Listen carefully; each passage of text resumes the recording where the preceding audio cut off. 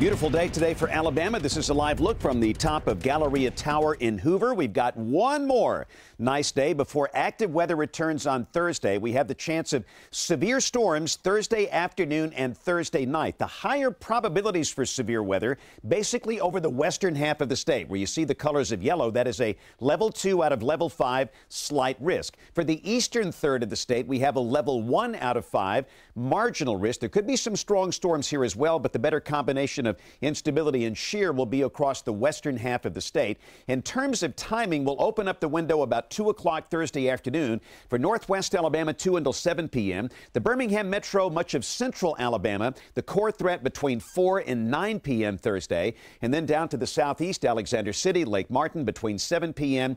and 2 a.m. And keep in mind, away from storms, Thursday will be a very windy day because of a tight pressure gradient. We're expecting winds out of the south averaging 15 to 30 gusting at times to 40 miles per hour. When storms do arrive, they could produce hail, strong winds, and possibly a few tornadoes. So you know the drill. Be sure you can hear warnings have a plan. We'll get through the day together fine. This is tornado season in Alabama. This kind of day is not that unusual for this time of the year.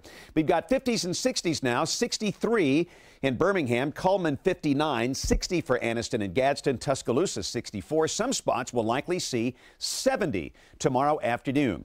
Overnight tonight, the sky mostly fair will stay well above the freezing mark, lows mostly in the mid 40s. So let's talk about the day Thursday. The morning should be relatively dry. There could be a few isolated showers, but most locations dry. Winds will be increasing out of the south during the course of the day. That's 12 noon. Storms creep into West Alabama by mid afternoon, and by evening, we'll have a batch of storms around 6 o'clock from Huntsville down to Tuscaloosa. And again, they could produce hail, strong winds, and possibly a couple of isolated tornadoes. Storms should be south and east of Birmingham soon after 8:30. And again, that's the actual cold front here. Once that passes, the weather turns noticeably cooler by Friday. Here's the 10 day. Tomorrow, partially sunny and 69. A very windy day Thursday. Thunderstorms Thursday afternoon. Thursday night could be severe, the high 72.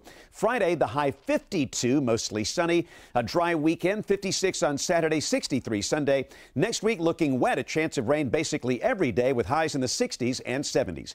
Catch my forecast every day on great radio stations around the state, including in Birmingham, 98.7 KISS.